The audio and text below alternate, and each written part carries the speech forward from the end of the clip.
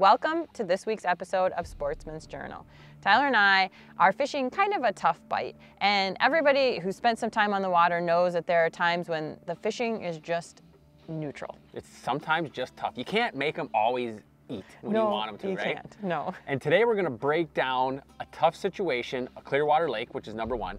So very clear water, Yeah. 20 foot visibility in some places on this lake. So very, very clear water. Wind change. What Well, direction?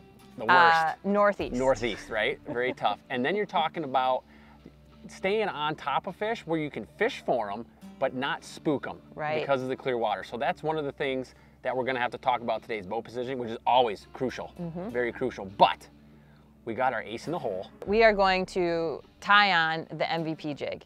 We used it last year. I was a huge fan, and I have been asking, when do we get to use the MVP jig again? And Tyler's like, I have the perfect application. perfect situation. The toughest bite yeah. we're gonna try it out for.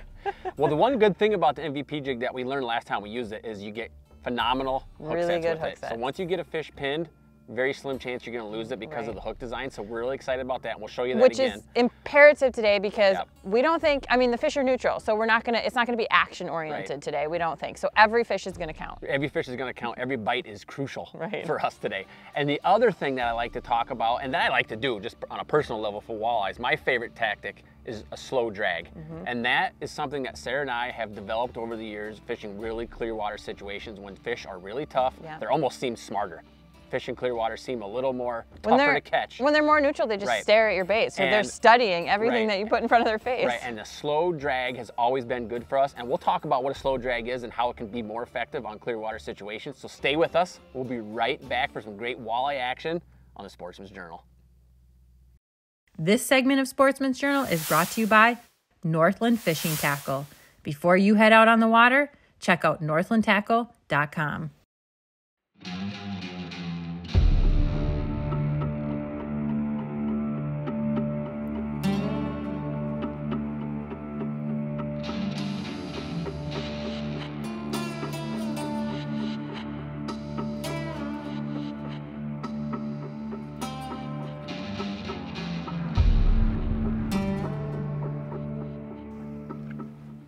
got our lines in the water. Feels Step good. one. Yeah. Get a Sigh- line in the breathe, sigh of relief. We're fishing. And I feel sometimes like we're a broken record on the show when we talk about boat positioning all the time, But it's very important. but it's super crucial. And on the onset of the, on this episode, we talked about fishing in clear water, right? Mhm. And in clear water, they can see a lot of stuff. Yep. They can see a lot of stuff a lot easier in murky water, that's for sure. So when you set up to do this drag technique or you're fishing clear bodies of water, don't set up on top of the fish. Mark them, putz around a little bit, find a location that they're not gonna be spooked. So it's lay off of them. That's where this drag technique comes in real handy because you can fan cast. And of course the drag is slow, Right. methodical, but very, very, very important not to set up right on top of these fish in clear water. Right, and I think you know we're familiar with with some of the structure, and and what we do is we we know that there's say we're on a flat, we know that there's a rock, and in clear water, fish are relating to those things. Yep. They they're not going to sit on top of that. Mm-hmm. They're going to move around it, but they're going to relate to that. So we are setting up off of that structure and then fan casting around that. Exactly. So when they come to ambush on that rock, hopefully we're right there. We're right there. Oh, I got.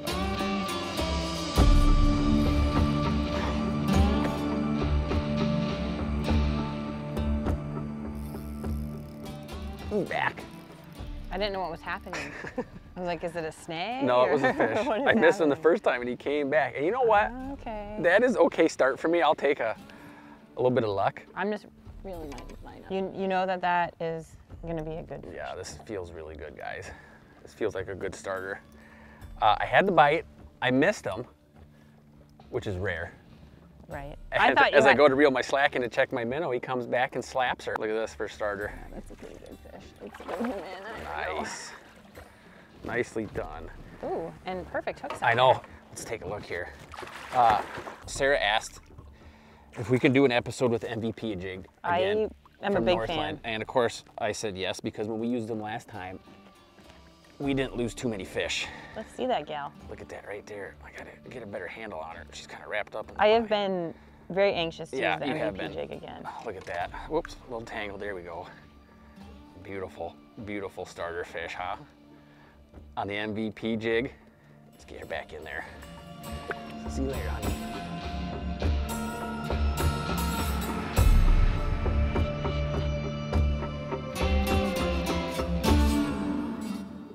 Oh, that's a fish. Nice job. I just pitched out. Oh, that one was way out there. Do you want me to get the net? Oh, I just got a glimpse. Did glimpse. you get a glimpse? Like just a flash. There he is again. He's coming. He's oh, coming. Oh boy, oh boy. Oh, that's a chunky one. Yes. Oh, nice. Oh nice my goodness. work. That's wow. a dandy. That's a heavy fish. Yes. That is a heavy walleye right, Right there. in top jaw. oh, jaw. wow. Just like we draw it up. Yeah, he's stuck on the net there. That's all right. We'll go down there and get him. Take a look here. Yeah, I got the MVP jig right in the net there. I don't want to hurt her. That's a big, big walleye. That is. wow. I'm impressed Yes. how by That how is so much fun. well she's eating. Yeah, and you know what? We're using. I got I got one eighth ounce on the MVP, and Sarah's going a little bit heavier. But is that not gorgeous? But we got really light line we're using today, and Sarah and I. That's how we learned most of our fishing techniques. Yes, we is did. We fishing started- hard Here, on I'm gonna get the net. out. clear water situations. Makes you a really good angler when you can figure that out. And we're doing that today again. Kind of taking our old tricks and put them to use Yeah, one more we're trying time. some old school stuff. Isn't here. that a beauty, Sarah? Wow. Look at that thing. I love it. That's thick? Look at the hump. I mean, that is mm-hmm. wow. we'll get her right back That's in nice there. walleye. Wow.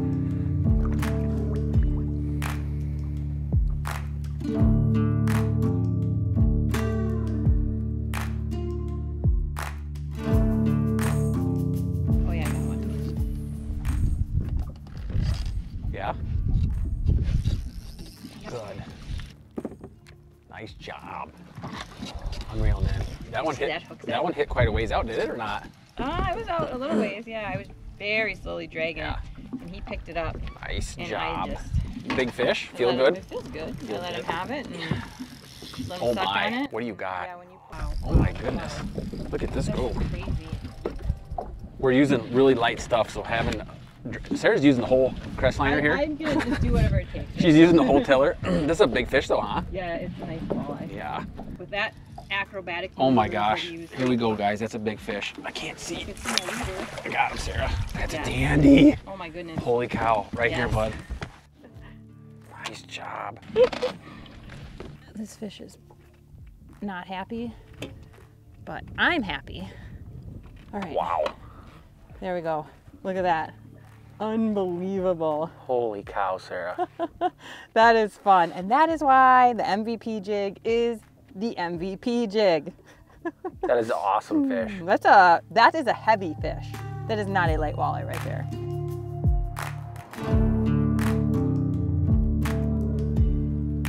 I got one. You got one?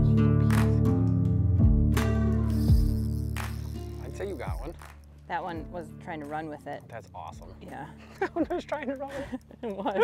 I can feel it taking it to go. Oh, man. That was a to-go order. You know, and Get a, a the- big thing about when you're deep. when- Oh my goodness. is he a big fish? When we're dragging jigs, everything's different than like say vertical jig. Your hook Yes. sets are different, so that's Yep. something you got to keep aware of because. Your angles are your angles are all different. Oh, this is I right loosened here. it just a Oh my goodness. Okay. Oh, oh, he's gonna go on one last run here by the mm-hmm. rig.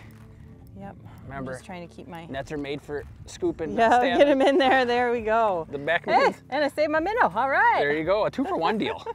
wow, nice job, Sarah. Thank you. Good job. Whew. Love it. Fantastic. Right. But now this one's head is Sarah, not as long. that's a jumbo as the other walleye's head, but look at how thick that fish is. I took That your is- seat. You're okay. right. That is a wide. That is a wide load coming through. I mean, That is awesome. Yeah. What a dandy. that is a healthy fish Unbelievable. right there. I love it. Unbelievable. Yeah, there That- and there are big fish that swim in Clearwater lakes all over the North Country, and you start putting the patterns together, and start doing all the right things, you're gonna start catching fish like this. Mm-hmm. That's awesome, Sarah. Yeah, we want to get her back. Whew. A beautiful. Yes, it was. Uh, that is so much fun. I don't like. I I wasn't. I don't know exactly what my expectations were, but I guess I wasn't expecting these. These are nice. Big, like, every beautiful fish we've caught walleyes, has yeah. been high quality. Yeah, I was expecting some eaters. right, but that that makes the tough bite even more fun when they're big. Yes, it does. And you know, we talked about the MVP last year. If you guys watched our episode on Lake of the Woods, we got to use it for the 1st Mm-hmm. time, and we loved it. Yes. And it bears repeating on its qualities that helps Yeah. you catch a lot of fish, and especially in clear water situations. So I'm actually using the quarter. Um, it comes in four different sizes. Four different sizes, all the way up So- to half ounce. I got eight. So Tyler's using an eighth. I'm using a quarter. I'm downsizing a tad. But uh, very, very lifelike jig head. Yeah. Uh, but I'm a big fan of the hook itself. Right, exactly. You know, that's a beefed up hook. It's very beefed up. So that's the Gamakatsu Big River hook. And the bend in it is a little bit unique Mm-hmm. in just a circle hook. Obviously, that produces a wider gap there. And then that bend is getting these hook sets Yeah. that are just, I feel a lot of confidence in those Right. hooks. And the cool thing about these MVP jig heads is the eyeball and the mandible jaw. It just looks like a fat head head. Mm-hmm. It does. Right? It- it's a, and all you're doing is just adding a little bit of color on there and it's I love it. producing big time. yes, it is. I'm gonna get back out there. It's my turn. I'm gonna get a minnow. You've caught like two in a row. I don't like that. Northland Tackle's Elite Series MVP jig features a realistic head design and a Gamakatsu Big River hook. Perfect for fishing bulky plastics and big minnows. The Elite Series MVP jig from Northland Tackle. We are walleye. This segment of Sportsman's Journal is brought to you by Striker. To view their full lineup of open water apparel, head to strikerbrands.com.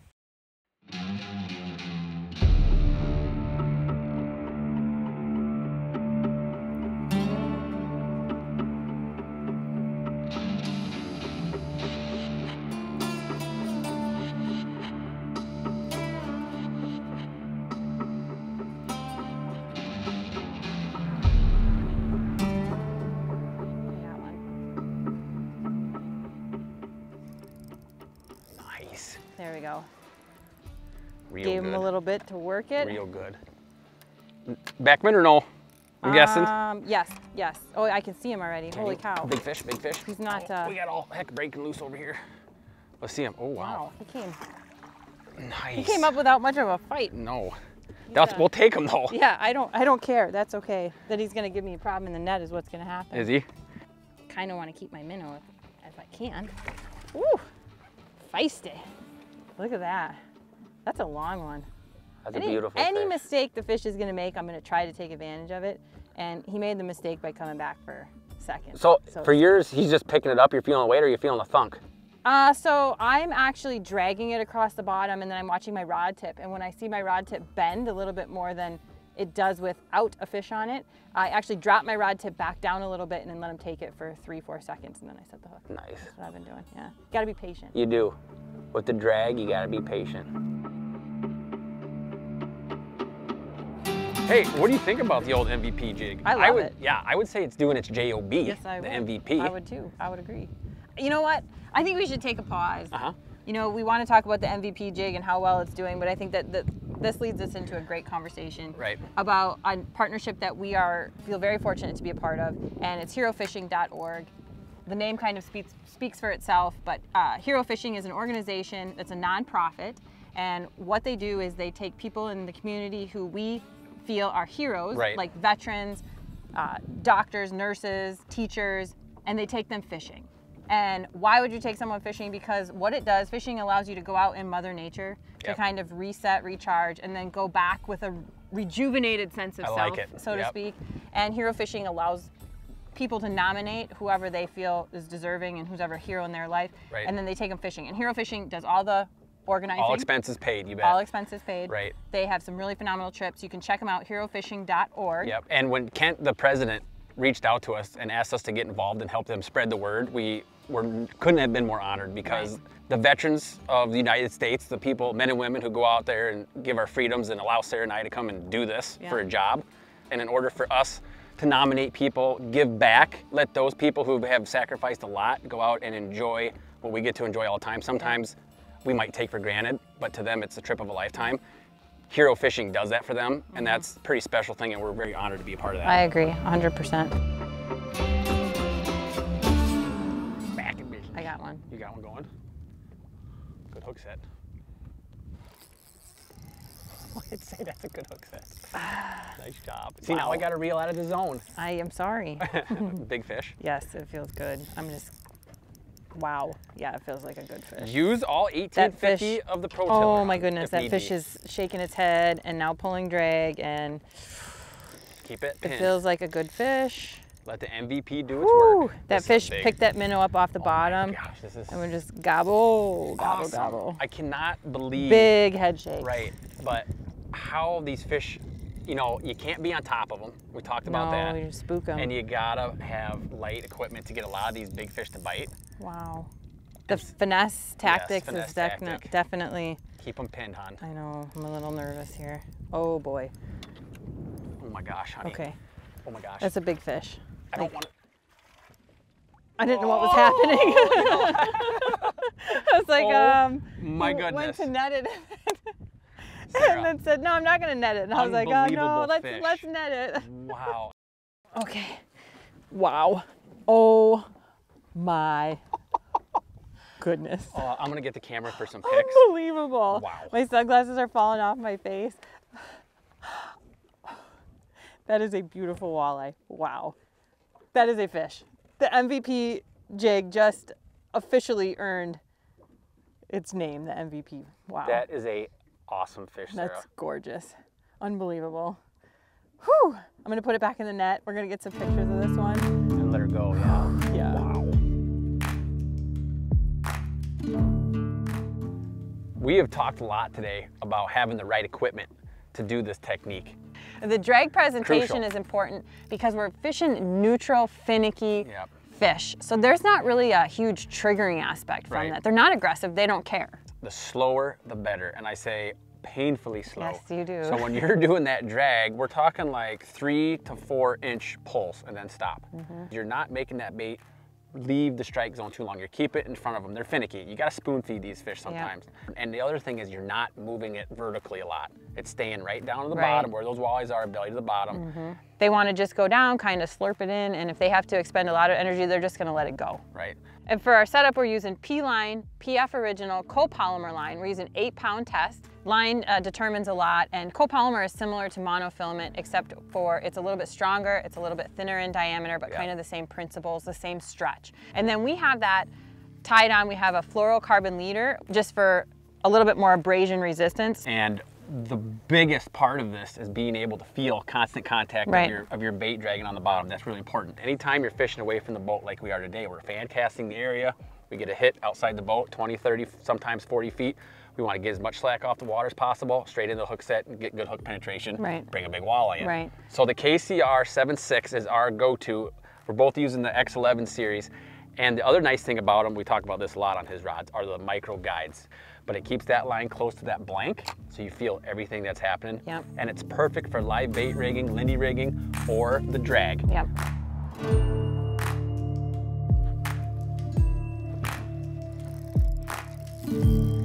Wow. Got- that one slammed her. That was a hungry one. That was a hungry feller. He came all the way up. Ooh, Oh my goodness, that's a, that's a big fish. yeah, I'm coming. that's a nice one.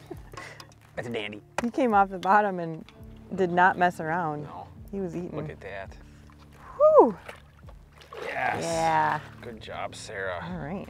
That did not take long for that one. What an unbelievable day, huh? Um, yes. Wow. Awesome. Oh, wow. These fish Are are gorgeous. gorgeous and amazing and that is fun right there. Every single walleye that comes up caught on that MVP jig is amazing and I am loving it. Just another stud. Mm-hmm. Wow. Thick, mm-hmm. round. Do you like the drag? The drag is deadly in clear Yep, water. It's yep. unbelievable. That was a dandy hunt. Whew. I see. Do you think I need to get a new catchphrase?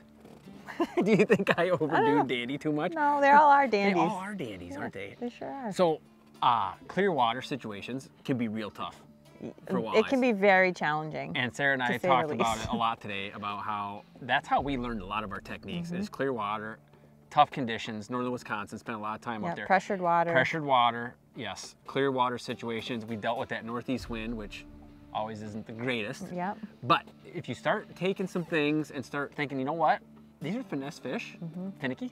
Yep. What are we gonna do to counteract that Yeah. and catch more fish? We kind of went back to the basics. we went back to the basics a little bit. you know and sometimes you get caught up in we, we talk about using your electronics and boat control and all that is huge um, but sometimes you get caught up in that and you know you stare at the screen for a while Yeah. and we kind of went back to the basics and stepped back and we're like how do we counteract finicky fish. What do we used to do? Let's go back to that. Exactly. And, And, I worked. like I like that slow drag. I do that. I, Yeah. Mm-hmm. I feel like that's one of my better walleye techniques I excel at. I just like this patience, feeling my way around. yeah, you kind of found the pattern today first, and, and that's what you were doing. and then you kind of went hit cleanup. The big ones. I said, I'll come in as and usual. But the check it out. MVP jig is actually all that. It is the jig head that It we is. go to when t- t- times are tough and when you have big fish. Today we weren't expecting all these big fish. No, not at all. What a blast. But you also have to talk about fishing is sometimes we take it a little too serious. Yes, we do. Fishing is supposed to be fun, good for the soul, and very Yeah. important. And Hero Fishing is one of those Yeah. organizations that you want to become a part of. Look them up, take a look at their website, see what they can do, and they can really change someone's life. And they've done it in the past, and they're going to keep doing it in the future. So everybody, take a look at herofishing.org. Yep. Nominate somebody that's deserving of a fishing trip. Nominate somebody that needs maybe that little rejuvenation because that's Yeah. what fishing is all about. And uh, and everybody, thank you so much for watching and joining us. We will see you next week on Sportsman's Journal. To find out more information and all the amazing things Hero Fishing is doing, or to nominate your hero, visit herofishing.org.